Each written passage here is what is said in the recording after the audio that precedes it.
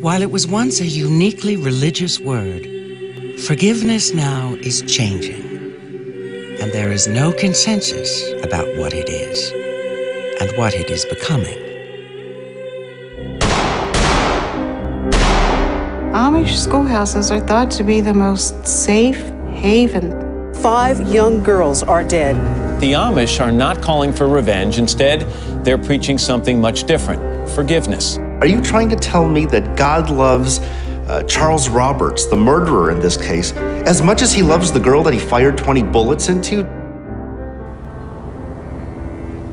Forgiveness, reconciliation, and apology, all close relatives, have always played an essential role in the lives of individuals. I have never, ever seen the real perpetrators publicly apologize and asking for forgiveness.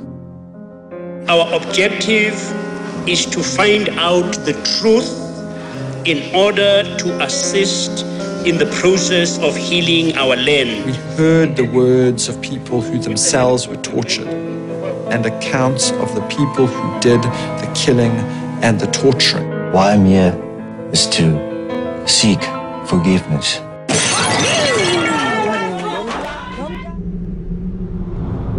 Katherine Ann Power, a fierce opponent of the Vietnam War, participated in a violent act of protest in which a policeman was killed.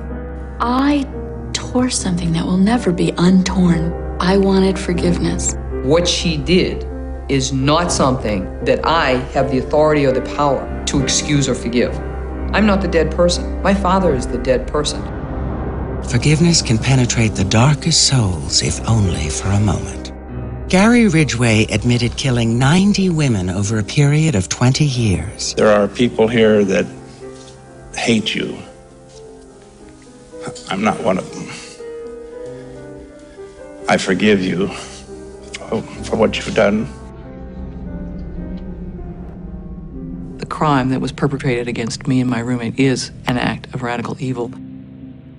We were two girls on bicycles, no skin of metal around us, open and vulnerable to the elements and to anybody who might pass by. Not long after I had been asleep, I heard a blow, and my roommate was completely quiet. And I saw above me a young man standing over me. He had an axe in his hand. He brought the axe down, and oddly enough, he brought it down slowly, in slow motion. Terry told me one day that she was thinking of going back to Oregon and trying to find the man who had attacked her. And what I immediately found out was that the statute of limitations on this case had expired in 1980. This first little piece of that anger that I needed to recover started to come up. Wait a minute, there wasn't any justice here. That there, was still a man out there who was, who was, who was, you know, had not been held accountable. There had been no reckoning of his. Wait a minute, it can't be ever. Could I ever, under any circumstances, forgive this man? In this case, I would say no. A single lifetime, the years he has left on the planet, would not be enough. When my ex wife told me that she was moving a thousand miles away, I said, You can't take the kids with you. And she said, I know, I'm not going to take the kids. The world does not, in general, look really kindly upon women who leave their children. For a while, it was just like, really just a broken heart. It was like, I wasn't enough to make her stay. I would say to her, Will you allow yourself to trust me again and to, to let me in? And, and know that I won't. I won't abandon you again. I won't.